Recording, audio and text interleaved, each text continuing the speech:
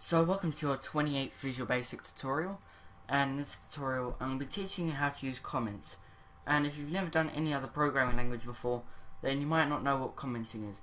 It's basically we can put annotations inside of our code so that we can kind of understand it and read it better. So let me give you an example.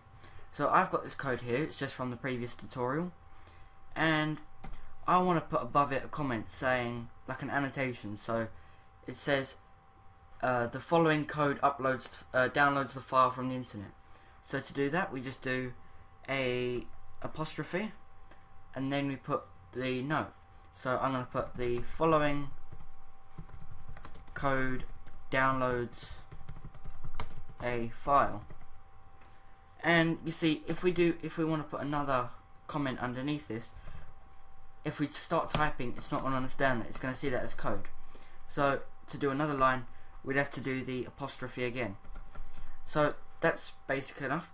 So now, if you were to hand this code to someone else and get them to work with it, they would be able to just scan through your code and understand what you've done. So that is your very quick tutorial on how to use commenting.